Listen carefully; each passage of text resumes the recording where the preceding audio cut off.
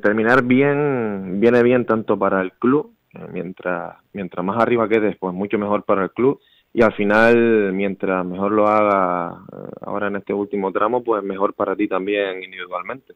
Al final te viene, viene bien, viene bien para todos, así que hay que hay que seguir hasta el final jugando, intentar haciéndolo bien y,